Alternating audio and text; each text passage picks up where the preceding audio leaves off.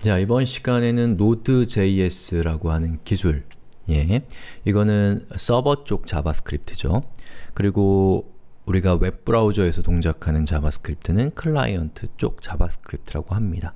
자, 이런 용어는 모르셔도 상관없습니다.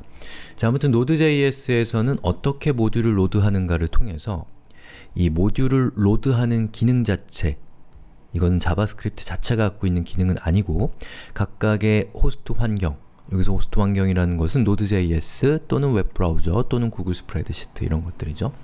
자, 각각의 호스트 환경에 따라서 이 자바스크립트 파일을 분할해서 읽어올 수 있도록 하는 메커니즘이 다르기 때문에 바로 그것이 다르, 다르다라는 사실을 알려드리기 위한 부분이고 우리 수업은 Node.js를 실습 환경으로 하지 않기 때문에 저는 제가 세팅해 놓은 환경을 그대로 사용할 겁니다. 여러분들 이거 따라하려고 하지 마시고 아, 다른 환경에서는 모듈을 로드하는 방식이 다르구나 라는 사실만 인지하시면 이번 수업에서는 OK입니다. 자, 우선 두 개의 파일이 있는데요. 자, 우선 첫 번째 node.demo.js라는 파일은 로드의 주체라고 되어 있죠. 즉, 파일을 읽어오는 쪽입니다.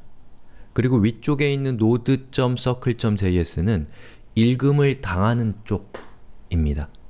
그래서 우리 위, 위의 예제로 치면 웰컴이라는 거에 해당되는 것이죠. 자, 그러면 어떻게 파일을 모듈화된 파일을 읽어오느냐?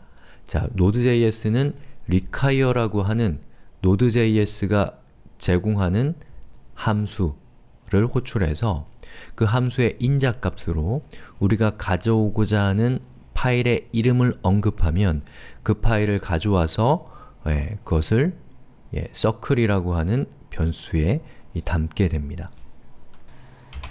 그 다음에 여러분이 circle이라고 하는 저 변수에 area 변수.area 그리고 4라고 하면 자, 이 서클이 담고 있는 로직, 즉 여기에 있는 이 로직이죠.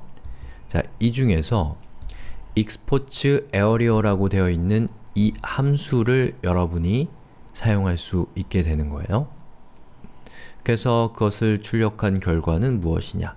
요거라는 겁니다. 자, 그럼 제가 실행을 시켜볼게요. 자, 전 윈도우에서 실행을 시켜보겠습니다.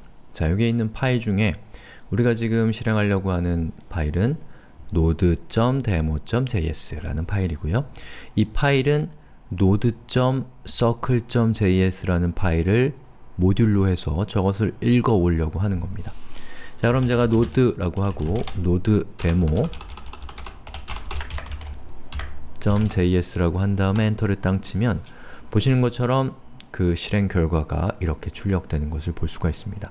자 이렇게 되면 우리가 node.circle.js라는 파일을 이렇게 하나 만들어 놓고 여러 node.js 파일을 만들어서 이것을 include 하는 걸 통해서 load 하는 걸 통해서 우리는 어, 이 circle.js라는 저 파일 안에 담겨 있는 로직을 재활용할 수 있게 되는 것이죠.